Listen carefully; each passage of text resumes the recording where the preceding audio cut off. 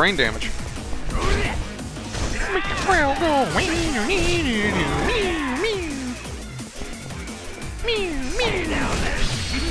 You can fucking punt it again. Just in case you didn't have enough brain damage the first time.